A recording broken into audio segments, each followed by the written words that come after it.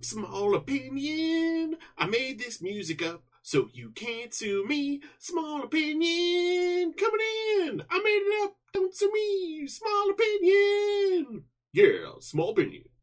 What's up, YouTube world? Small Opinion 205 coming in, and we're here to talk about the orange to the juice, orange juice. The best juice. There are other juices that are good. Apple juice isn't bad. But orange juice, top of the line. And you have to have a little pulp. A little pulp. Just something. It kind of reminds you that it's like real juice from a fruit. Because when it's not there, it's like, yo, is it real? Is it real? It's almost like drinking Sunny D without pulp.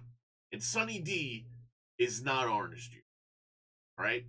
Sunny D is some kind of radioactive friggin' concoction that I don't I don't even know what it is, but it's not orange juice. Get some Tropicana, get some Simply Orange. Don't get Sunny D for orange juice, alright? Get a little bit of pulp, get some Mother Nature in there, you know, and it's delicious. Refreshing. Ooh, get you going. Good stuff.